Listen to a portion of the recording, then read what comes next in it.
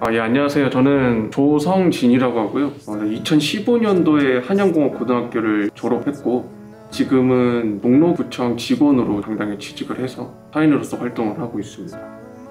처음에는 저는 모르고 있었어요. 공부랑은 조금 관심이 없었어서. 중학교 때 선생님께서 한양공업 고등학교를 소개시켜 주셨었어요. 이 건축이랑 토목에서 되게 뚜렷하게 명성이 좋은 학교다. 그때 당시 이제 만들기를 굉장히 좋아했기 때문에 건축에 관심이 있어서 잘한다는 소문이 자자해서 그래서 학교 선생님들이 많이 추천을 해주셨어요. 여기는 뭐 하나에만 집중하진 않았고 현대 건축하고 나무를 통해서 짓는 양옥 또는 그 산업 관련된 현대와 옛 것을 좀 아우러서 많이 가르쳐 주셨던 것 같아요.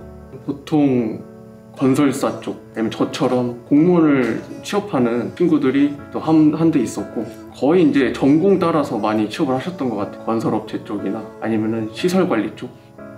저를 빗대서 얘기를 하면 굉장히 이바지를 하고 있다고 생각을 해요. 왜냐면 이게 말이 고등학교지 그 배우는 수업 자체는 나가서 해야 할 업무들이랑 굉장히 매칭이 잘 돼 있거든요. 여기서 배우는 업무들이. 제가 여기서 배웠던 실무라든지 지식들이 대학생들 못지않게 굉장히 많이 배웠거든요. 특히 공무원을 취직해서 제가 건축직 공무원을 하게 되면서 어떤 뭐 도면을 읽는다든지 이 도면을 읽고 어떤 법을 해석한다든지 이런 거에 있어서 정말 기초된 지식들을 많이 배워서 나갔기 때문에 그러면서 내가 봉사할 수 있는 공무원이 됐다는 걸 보니까 충분히 이바지를 했다고 생각합니다.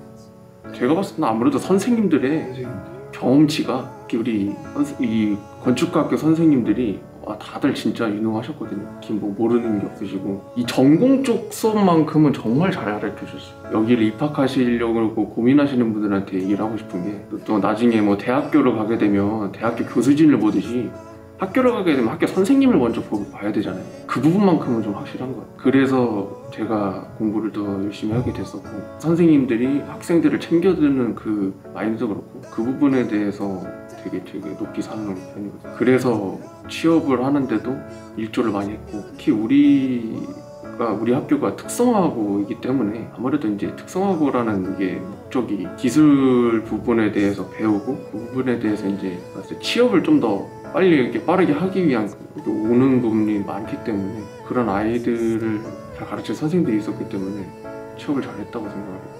어, 전 되게 자부심 느끼는 게 여기 와서 배웠던 것들이 밖에 나가서 쓸모 없었던 적이 없었고 제가 물론 고졸이지만 밖에 나가서 제가 무시당해 본 적은 없었거든요. 여기에서 배웠던 것들. 난 한양공고 나왔다. 그렇지만 고졸이지만 난 이만큼 할 수 있다. 여기에서 배웠다라고 얘기를 하니까 다들 인정해주기도 하고 하는 모습을 보니까 잘 나온 것 같다. 여기 잘 다닌 것 같다. 라는 생각이 되게 많이 들었어요.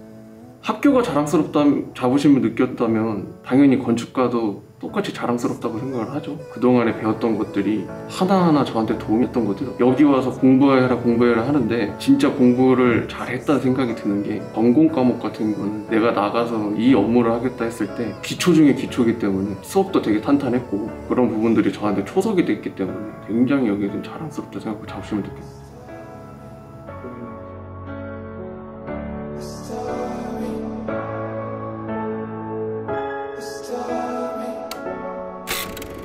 얼마든지 생각이 있으면 딸 수 있으니까 이거는 뭐 의지의 차이죠. 어떤 누가 공부를 못하고 잘하고 문제가 아니라 의지의 차이입니다. 지금 시작하면 할 수 있어. 할 수 있어.